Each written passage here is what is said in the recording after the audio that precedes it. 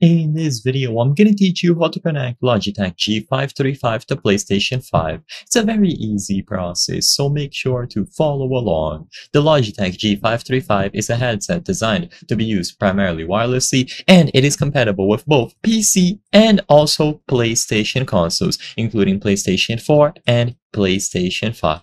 So all that you have to do to set it up is use the provided USB wireless dongle. So in the box, you will have the manual and then the most important parts, the wireless dongle, that is going to be the receiver for this headset and also the charging cable. If needed, plug the headset into a suitable power source and let it charge for a while. Usually when you first unbox the headset, it will be sufficiently charged for at least one use, but I recommend charging it fully if you want to get the most out of it on your first time using it.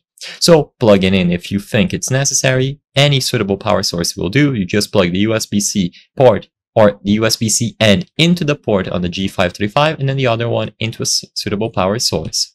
And you just have to grab the wireless receiver and plug it into any of the available USB ports on the PlayStation 5. By plugging it into any of these ports on the PlayStation 5, you will be able to press the power button on the G535 itself and it should automatically discover and pair itself up with the wireless dongle. So just make sure that you are in close proximity and once it has paired itself up, you are good to go. Now, whenever you join voice chats, you will be able to listen to all of the audio and you can also use the microphone, of course, and you will be able to go into any game, configure your microphone and the audio, and everything will work natively. You can use the buttons on the headset itself to control the volume, mute yourself, turn it on or off, and it should work natively when connected to any of the USB ports on your PlayStation 5. Of course, you can also connect it to a PC, and on PC, you can download the G Hub software, which will give you much more customization over this headset. But for PlayStation 5, it is plug and play.